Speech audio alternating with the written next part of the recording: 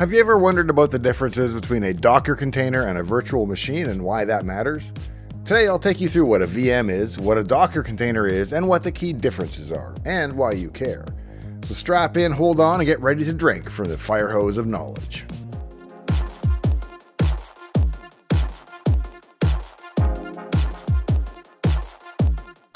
Hey, I'm Dave. Welcome to my shop. I'm Dave Plummer, a retired operating systems engineer from Microsoft, going back to the MS DOS and Windows 95 days. Odds are that by now you've heard of both virtual machines and Docker containers, and you might even use one or both of them. But most folks still don't know the fundamental differences between them, and that's what we're going to explore today. Both cases let you take a bundle of software, including the operating system and all of your configured applications, and package them up in a reusable way. Big picture, a virtual machine runs a complete dedicated operating system installed just for your package, whereas a container runs side by side on your existing operating system, sharing resources with it. Now imagine you've set up a perfect development environment on your system.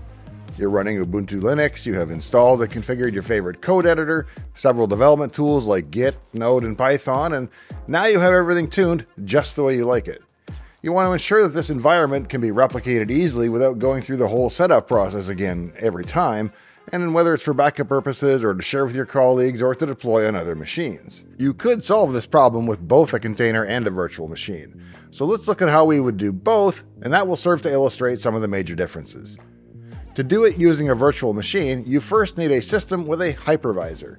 Your image needs a virtual machine to run on after all, and it's the hypervisor software that provides it. Think of it as a traffic cop for your computer's resources. It directs traffic, making sure that your hardware plays nice not with just one operating system but with several, all at the same time. Each OS operates in its own compartment, unaware of its neighbors, while the hypervisor manages them all, keeping your system stable and efficient. It's virtualization at its finest, all courtesy of that hypervisor. Now, you can install a dedicated hypervisor operating system like Proxmox, or you can just enable the Hyper-V feature on Windows. Or you could install a virtualization package like VMware. Each works a little differently. To put a finer point on it, there are two distinct types of hypervisors. The first is the Type 1 hypervisor, or bare metal style. It runs directly on the physical hardware of the host system and does not require a host operating system, as it acts as the OS itself. This approach offers better performance and efficiency because it has direct access to the physical hardware. A Type 2 hypervisor, on the other hand, and these are not very creatively named, but a Type 2 runs as an application within a standard operating system. It relies on the host operating system below it to do the hard work of managing the CPU, memory, and other hardware. It does the same job of creating a virtual environment that can be run, but instead of managing shared access to the real underlying hardware, it creates a simulated hardware environment. So what's the difference between a Type 2 hypervisor and an emulator? Well, while the emulator simulates the CPU as well, with a hypervisor, you're still running on the real CPU. And so with a hypervisor, the underlying architecture is always the same between the host and the VM. Both will be x86, both be ARM, or whatever.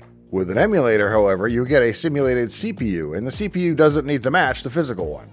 You can run a 6502 emulator on a Threadripper, for example, which is precisely what I do when working on old code. But with a hypervisor running on AMD 64, you can only run AMD 64 code. Now, naturally, running under an emulator adds this layer of indirection and some inefficiency. The Darwin code that runs Intel binaries on Mac Silicon does so at a surprising speed and proves that emulation does not need to be slow, at least if it has some support on the chip to help it along. Now, on a Type 1 VM, the CPU of the virtual machine must align with the host because modern CPUs support virtualization natively in that chip and so the CPUs are prepared to be shared amongst sessions. This means that your code runs at native speed on the real CPU and the results can be impressive. In fact, I did extensive testing of Ubuntu running as WSL2 under Hyper-V versus bare metal, and the results were consistently within 2%. And yet, containers can be even more efficient than that. Now, thanks to the way the algorithm on YouTube works these days, I have to do the stuff that I'd normally do at the end of the video here in the middle. So I'll just take a moment to remind you that I'm mostly in this for the subs and likes. So if you're finding today's episode to be informative or entertaining, I would be quite pleased if you could leave me one of each today. And if you're already a subscriber, thank you. And if you have any interest in matters related to the autism spectrum, please check out the free sample of my book on Amazon, link in the video description. It's everything I know now about living your best life on the spectrum that I wish I'd known long ago. Now let's get right back to our task of packaging up this dev environment. We'll make that custom dev environment into a virtual machine and then host it on a hypervisor like Proxmox or Windows Hyper-V. Long story short, once everything is set up, all you do is take a snapshot of the VM. This snapshot includes the entire state of the VM, the operating system, installed software, disk images, your configurations, and any files you've added. It also serves as a handy backup. Whenever you need to replicate your environment, you can use this snapshot to create a new VM that is an exact replica of the original setup at the snapshot time. This can be done on any machine that supports that hypervisor, regardless of the underlying hardware. I mean, it has to match and you have to have enough RAM, but it's not directly tied to the original machine. You can also share this VM snapshot with friends or colleagues, subject to licensing and so on. They can load the snapshot on their own hypervisor, instantly getting them up and running with the same development setup. Now, how can we do this with a container? Well, instead of using a full VM, you can containerize the environment using Docker. You create a Docker file that defines all the necessary installation and configuration steps. It would contain your Ubuntu base image, and then there would be lines to install Node, Python, your code editor, and copy in your configuration files. It reminds me of one of the better Docker memes that I've seen. But it works on my machine, then we'll ship your machine. And that is how Docker was born.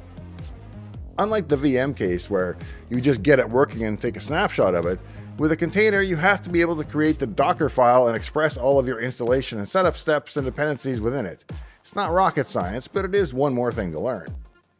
Next, you use the Docker program itself to build the container image based on the instructions in your Docker file. It's like compiling the Docker file. This image now represents your development environment. You can even then push this container image to a global registry like the Docker Hub. From there, it can be pulled and run on any system in the world with Docker installed, instantly setting up the same environment defined in the image from anywhere on the web. I have a copy of my LED Wi Fi server setup that runs on Linux, and so I've built a container that is available from anywhere at any time on any system running Docker. Thanks to the makefile and some help from my friend Rutger, the Docker file lists everything needed, including the .NET dependencies. You can make changes to the source code, and then the makefile recompiles the code, builds the container image, and uploads the new Docker container to the global repository, all in about one minute. Containers are more lightweight and start faster than VMs. They're ideal if you only need to replicate an application and its immediate dependencies rather than the whole OS setup. On its face, this makes it look like the no brainer answer is to containerize everything. And while there's certainly been a push in that direction, there are still many excellent uses of virtual machines. So let's look at some of the essential differences. The VM approach offers full isolation with its own OS, making it suitable for scenarios where the underlying OS needs to be controlled or where you need an environment identical down to the OS level. It's easier for systems that need comprehensive testing or full stack development closely mirroring a production environment. If a security exploit in a Docker container achieves ring zero escalation, it has ring zero access to the entire system, not just to its own container. With a VM, that damage would be constrained to the single VM, as each VM is fully isolated from all the others. The container approach is more efficient in terms of resource usage and is quicker to deploy. Containers are best suited for applications where OS level changes are minimal, and the focus is more about setting up the application side. They're great for microservices or applications where you want to be able to scale up new instances horizontally because it takes less resources to spin up new containers than it does new VMs. Both methods provide ways to snapshot and replicate environments, so the choice between using a VM or a container can depend on the specific needs for isolation, portability, and the level of granularity and control over the operating system that you need. The biggest difference between the two revolves around how they handle their operating environments and interact with the underlying hardware. A virtual machine is like a house that has its own infrastructure plumbing, electrical, heating, and so on. Each VM includes the application, the necessary binaries, libraries, and an entire operating system running on virtualized hardware managed by the hypervisor. This setup is highly isolated and secure, but it can be resource heavy because you're replicating the whole OS for each VM. Typically, you must also allocate a certain amount of RAM to each VM, whether they're making active use of it or not. Docker containers, on the other hand, are like apartments in a building that share the building's infrastructure. Containers still provide applications with their necessities, binaries and libraries, but they share the host system's OS kernel and sometimes the binaries and libraries themselves. This makes containers much lighter and faster than VMs as they require less overhead to run an additional instance. They can have RAM limitations imposed upon them, but they don't require you to allocate that RAM to them in advance. Rather, you set a specific limit and they draw from a shared pool up to their assigned limits. In essence, while both technologies offer a way to package and isolate applications, VMs are more like independent systems with their own full fledged environments, whereas containers are more efficient, sharing as much of the host system as possible without sacrificing the isolation that makes them similar to VMs in functionality. Now, a hypervisor's job might be a complicated thing to actually implement, but conceptually, the notion that it shares a single CPU among several live operating systems isn't a difficult one to comprehend. Containers are a bit trickier, however. Containers provide a lightweight method to isolate applications and their environments from each other on a shared operating system. They make it possible for you to run multiple applications in isolation on a single physical machine, all sharing the same kernel but appearing to each application as if it is the sole occupant of the operating system. Now, I promised you a fire hose of knowledge, and I hope you're thirsty because to understand how Docker compartmentalizes images and isolates them from each other, we need to understand two important Linux kernel features. These mechanisms that make containers possible are largely attributed to cgroups and namespaces, which are features provided by the Linux kernel. Windows also provides similar functionality via the job object, but we'll stick to Linux for today since that's where Docker is the most common. Cgroups or control groups are a Linux feature that allows you to allocate resources, such as CPU time, system memory, network bandwidth, or combinations of these, among user-defined groups of tasks running on a system. Think of C groups as a way to manage a budget of resources and distribute that budget across different applications, as if they were departments. With C groups, you can ensure that each container has access to the resources it needs without stepping on the toes of other containers.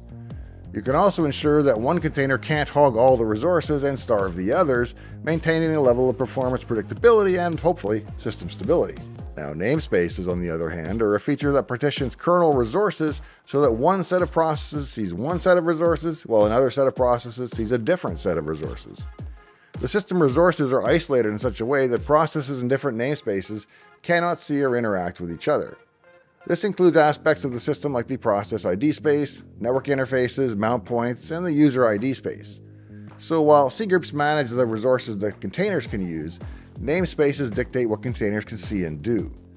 When a process is running in a container, namespaces ensure that it only sees its own environment, its own files, its own network, its own running processes, and so on. So taken together, cgroups and namespaces form the backbone of container technology. They combine the resource management and isolation to allow containers to run independently without the overhead of starting and running a separate virtual machine for each application. This results in a much more efficient use of the underlying system resources faster startup times for applications, and higher density of applications running on one machine, or across a whole group if you get into Kubernetes, which we will not talk about today. The use of both of these systems means that you can run multiple containers on a single machine, each with its own secure and isolated space, but all being much more lightweight and faster than a traditional VM.